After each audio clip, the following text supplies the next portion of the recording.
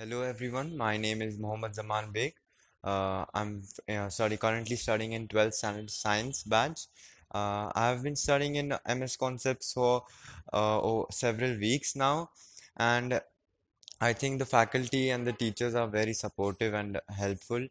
Um, I've been studying for physics, chemistry, and maths uh, in the uh, in this tuition, and they have not only helped me uh, to, just to study, but also improved uh, many other things, uh, such as brought discipline in my life, and also um, different uh, several teachers, in, uh, including maths sir, uh, who is Mr. Haq, and chemistry sir, Mr. Suhen Chutke, and physics sir, Mr. Mujawar sir.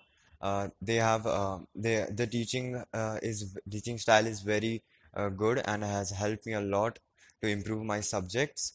Um, uh, and my marks have uh, increased. Uh, uh, my marks have increased very nicely.